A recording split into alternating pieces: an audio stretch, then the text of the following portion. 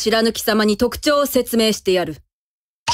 美しい筋肉に覆われた褐色の長い手足。美しい黒髪に太陽のように輝く釣り上がった大きな瞳。全身黒い毛で覆われ、大きな耳と長い髭は常に凛々しく天なの。どうやって捕まえるのよ。